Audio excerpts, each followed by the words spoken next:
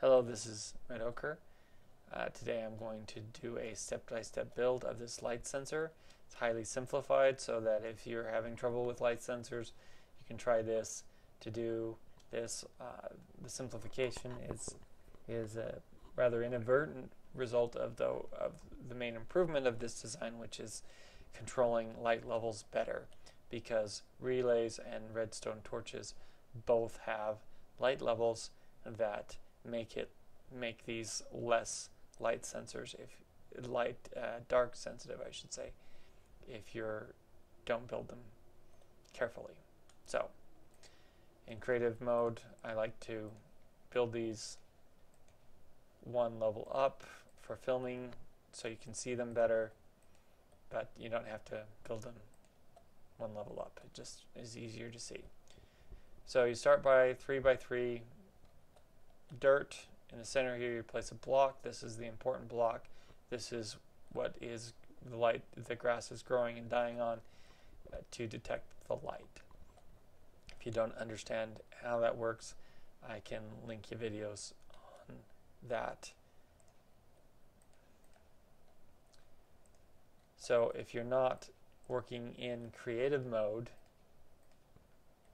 uh, which I don't, I just film here, uh, then you, and you can't build out of grass blocks, then you need to build the structure just like this and wait for all the grass to grow. To put get dirt next to it, connect it with some grown grass, and wait for it to grow before you continue.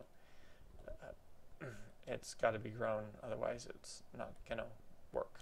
So put a sticky piston right next to that block, detector block. That's going to be the basis of our bud switch.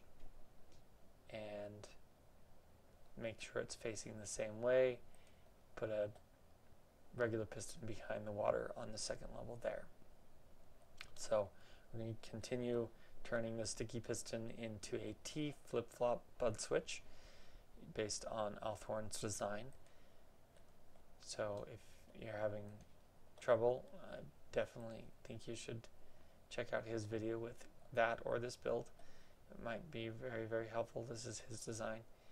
So put a redstone torch there, right below the, that block, and block next to it with redstone dust on top of it.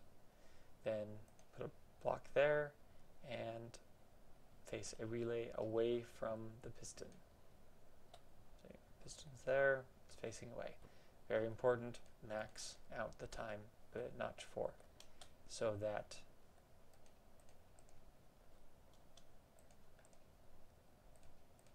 you don't end up with blinking. If you end up with blinking pulsing light sensors, that's often the cause right there.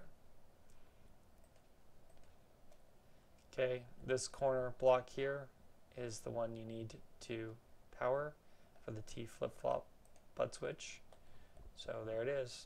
There's your T flip-flop bud switch next to this structure here.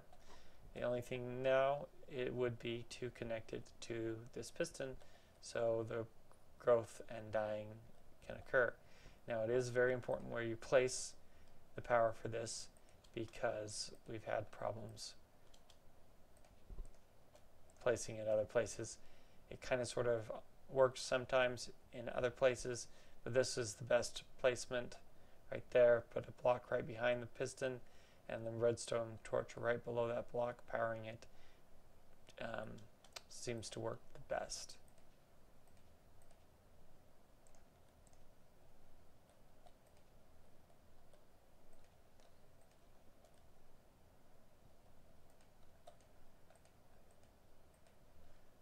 Okay, so we have the T flip-flop bud switch connected to the piston here. Pay attention to its daytime. The grass is grown. Both pistons are retracted. That's how it should be. If uh, I've often ended up when I'm building these things that these pistons are out of sync. Um, so the best way to reset that usually is to remove and replace that block. Usually, I, I've had it line them back up every time. Check out Al, Althorn's video on bud switches if you're having other kinds of um, priming problems. The uh, next and final step is to cover up all your light sources. So put a block right there to block the relay here. Cover in case this torch, this torch lets off light, shockingly enough. And in case this torch in dirt. Now, if we were to remove this water and stand on that block, the block light level would be zero, which is what you want. So that as dusk happens and the light level stops dropping, it drops at the very first opportunity that the light level gets low enough, this will start to die long before it gets, not long, but significantly before it gets pitch black. Thank you very much. Thanks to Althorn for his design, and we always like to give credit to Etho's Lab for his awesome videos. They got us started on this. We wouldn't have been able to refine his designs if he hadn't have made them.